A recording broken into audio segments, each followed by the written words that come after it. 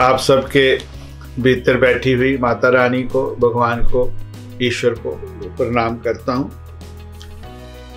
दोस्तों, आप रूहानियत के सफ़र के साथी हो स्पिरिचुअल जर्नी के साथी हो तो जैसे जैसे हम सफ़र करते हैं तैसे तैसे रास्ते में बहुत से अनुभव होते हैं।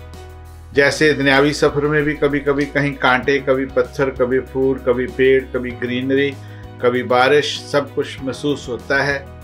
ऐसे ही इस सफ़र में होता है।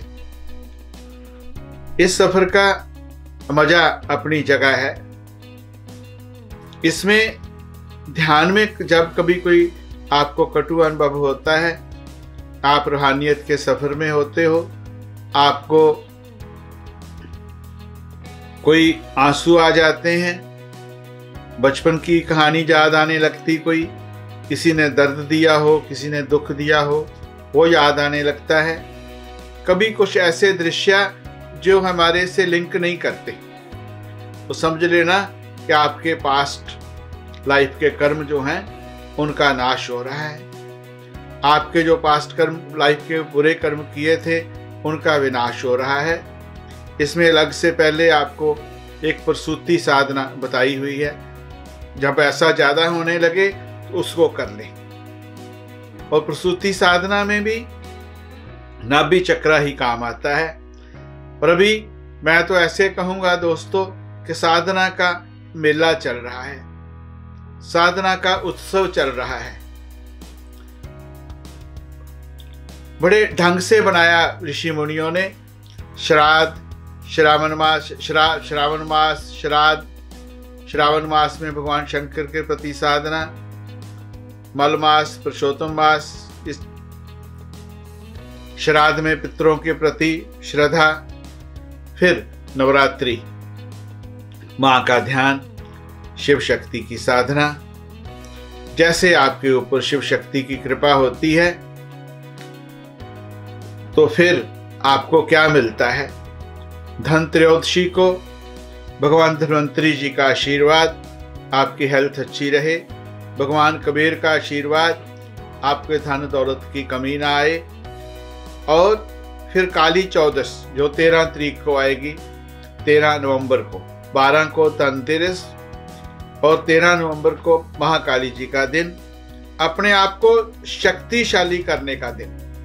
आप अभी से तैयारी करके रखें। कि उस दिन पूरी रात्रि साधना करनी है, जितनी मैक्सिमम कर पाए।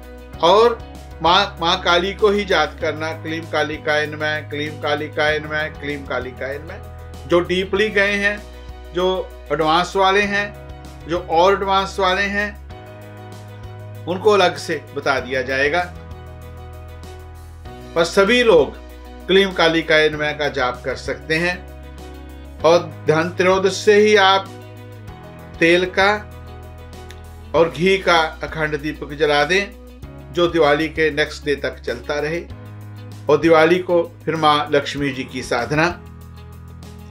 जैसे आपने दशहरे से शुरू की थी, इसी तरह दिवाली तक इस साधना को लेते जाना। और मंत्र आपके इस साधना का साथी है। मंत्र हमारा एम नहीं है इस बात को समझने की कोशिश करना कि कुछ लोगों ने मुझे पूछा कि जब हम साधना करते हैं, ध्यान में जाते हैं तो हम मंत्र भूल जाते हैं। कभी लगता है कि दूसरा मंत्र शुरू हो जाता है? कभी लगता है कुछ होता है? तो आप तब इष्ट के चरणों में चले गए, इष्ट के हवाले हो गए। आपको मंत्र जो है, उस मकाम तक पहुँचाने का साथी है आपका। मंत्र आपका मेन एम नहीं है, मंत्र आपका गोल नहीं है। ज़बरदस्ती मंत्र नहीं करना।